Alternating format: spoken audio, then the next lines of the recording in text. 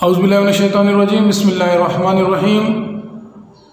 Dear students in class 7th English subject, today's lecture number 1 is about unit number 1 divine message.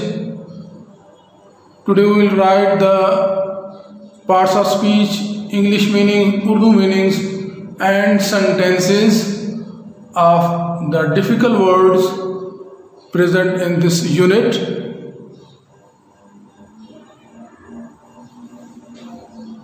First word is disable.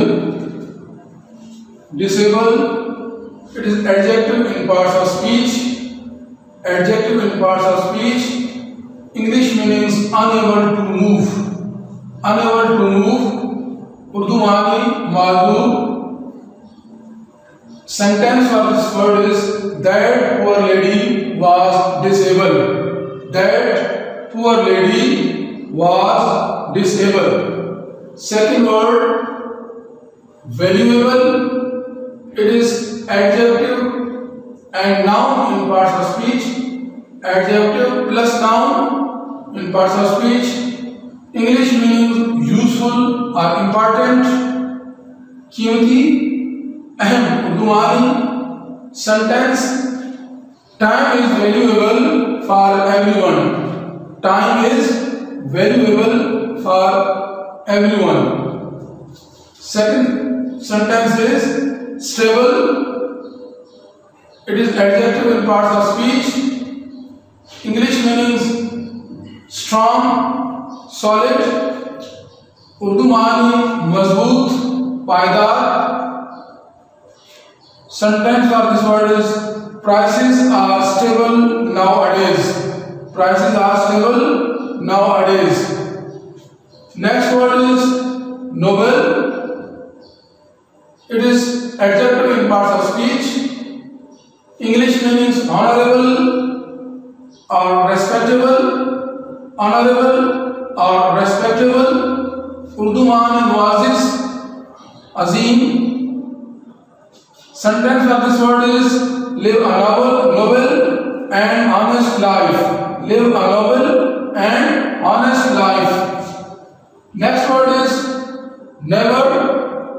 neighbour neighbour part of speech में नाम है English means one who lives nearby one who lives nearby Urdu meanings पड़ोसी, हमसाया Salim and Asad are good neighbours Salim and Asad are good neighbours next word is extend it is translated word in part of speech English में means to spread to spread फैलाना, बढ़ाना अधुमानी शायद wants to extend his stay in Karachi शायद wants to extend his stay in Karachi next word is stranger stranger part of speak में adjective भी है noun भी है।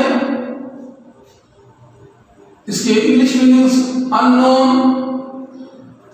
Urdu meaning नावाकिफ अजनबी। सेंटेंस बनेगा never trust never trust stranger never trust stranger last word trend trend part of speech में ये noun है।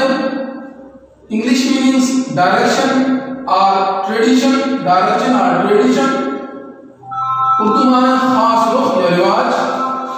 Sentence of this word is happy hand is a good trend happy hand is a good trend these are the difficult words of this unit they are part of speech English meanings Urdu meanings and sentences अब हमें इनको अपनी notebook पर लिखना है।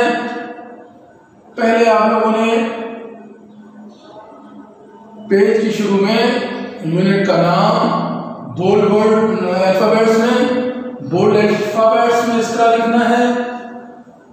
फिर उसी page पर आप लोगों ने वर्ड्स पार्ट्स ऑफ़ स्पीच और इंग्लिश मीनिंग्स लिखने हैं। Words parts of speech English meanings Urdu meanings लिखने हैं। ये चार कॉलम आप लोगों के एक पेज पर बनेंगे जबकि फेस टू फेस पेज जो होगा, जो सामने वाला पेज होगा, उस पेज के, उस पर आप लोग सेंटेंस लिखेंगे इन्हीं वर्ड्स के। ये जो काम होगा page to page face to face page जो होते हैं, उन पर होगा। आप लोगों ने समझ में भी इसी तरह का तरीका रखा है, याद होगा आप लोगों को। इससे पहले आप लोगों ने आप लोग याद होगा आप लोग एक पेज बनाते हैं जिस पर यूनिट का नाम लिखा जाता है, खूबसूरत अल्फाज के साथ कोई खूबसूरत सी सीनरी बना देते हैं आप उस पर। तो आप लोगों ने ये काम करना है, अपने घर में इसको कंप्लीट करना है। अपना ख्याल रखें। अल्लाह हाफिज़।